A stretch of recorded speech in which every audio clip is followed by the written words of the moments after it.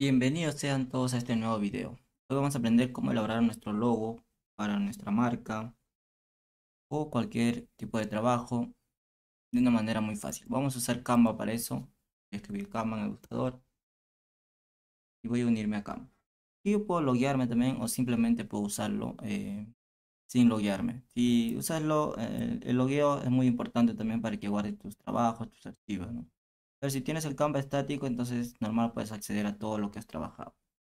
Vamos a ir a la parte de aquí del buscador y vamos a poner el logo, por ejemplo. Listo, aquí le voy a dar clic. Ahí tengo varios, eh, varias opciones para el logo. Aquí me dice otra vez que me loguee, es muy importante también. Aquí puedo añadir un logo, por ejemplo, cualquiera, y puedo ir cambiándolo. Todo lo que está con estas coronitas es pro, tenemos que realizar un pago. Es muy importante, ¿sí? El, Pro te da muchos beneficios, incluso te ayuda a quitar el propio fondo. Y el propio fondo de la imagen. Y otras características adicionales que va a ser muy interesante. Por ejemplo, vamos a elegir por aquí este. O aquí pues.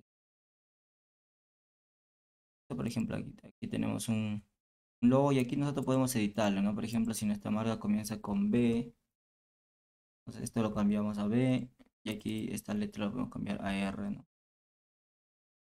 Aquí lo podemos llamar, por ejemplo, eh, Verona. Listo. Y ya lo podemos dar aquí los estilos. Eh, tiene muchas propiedades esto del, del Canva. Si podemos cambiar los colores, por ejemplo, de la letra también. Está.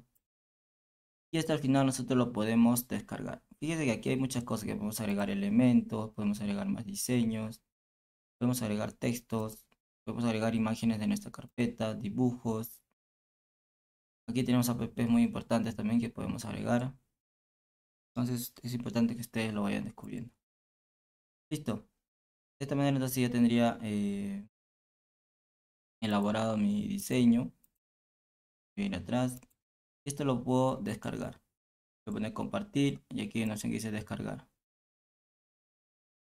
Este me dice hojas quiero descargar. Aquí me dice fondo transparente. Bueno, no dice nada, voy a poner descargar nada más.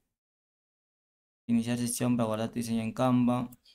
Bueno, para guardar el diseño me dice, ¿no? Pero aquí ya lo tengo. descargó. Y ya tendría el logo de una manera muy fácil.